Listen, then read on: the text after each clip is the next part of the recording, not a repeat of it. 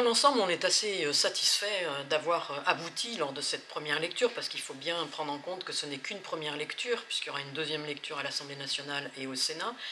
Euh, de cette euh, proposition de loi de notre collègue députée euh, Isabelle Santiago, qui nous semble important parce qu'en fait, traitant de la suspension de l'autorité parentale et, et, des droits afférents à l'autorité parentale lorsqu'il y a condamnation, mais aussi pendant la période pré-sententielle, ce qui est important parce qu'on sait que des drames peuvent se produire pendant cette période de procédure et que les procédures peuvent être longues. Pour nous, ce qui est important, c'est euh, d'essayer de protéger l'enfant et euh, d'éviter que euh, cette période pré-sententielle soit l'occasion d'une instrumentalisation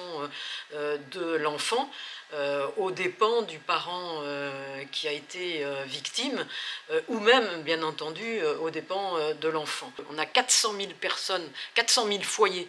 qui, où se passent des, des, violences intrafamiliales, et que sur ces 400 000 familles, eh bien, il y a plus de 20% d'enfants qui sont des victimes ou des co-victimes. Ça touche beaucoup d'enfants. C'est un phénomène qui est un phénomène grave au départ. on était en désaccord avec la rapporteure euh, de la commission des lois du Sénat, qui a dénaturé euh, quelque peu cette question euh, de l'article 1, qui concerne la suspension de l'autorité et le retrait de l'autorité parentale,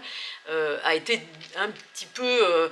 vidé du sens du texte d'Isabelle Santiago. Mais pour nous, c'était important d'aboutir, parce que c'est pas la première fois qu'on aborde ce problème. Le groupe avait proposé cette question du retrait de l'autorité parentale lors de la loi Taquet, mais que ça, à l'époque, ça avait été repoussé euh, par la majorité euh, sénatoriale et par euh, le gouvernement. Et donc on a perdu des mois. On se rend compte quand même que finalement les choses avancent petit à petit, comme nos groupes partenaires, hein, le groupe CRCE et le groupe GEST, les écologistes, on a considéré ensemble que c'était un moyen de faire avancer les choses et on sera vigilant sur la deuxième lecture pour donner plus de,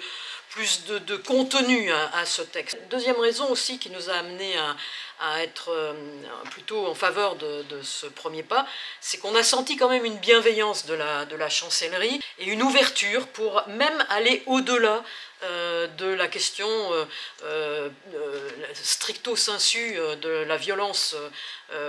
intrafamiliale et de poser la question de l'autorité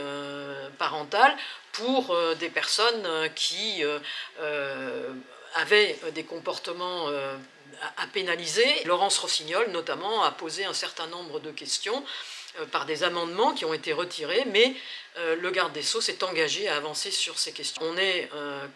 relativement satisfait de la manière dont s'est passé le, débat au Sénat, un texte qui a été voté à l'unanimité et qui va poursuivre son chemin maintenant euh, euh, à l'Assemblée nationale. Et Isabelle Santiago, l'auteur du texte, va se remettre au travail avec nous pour euh, améliorer encore la mouture de ce texte.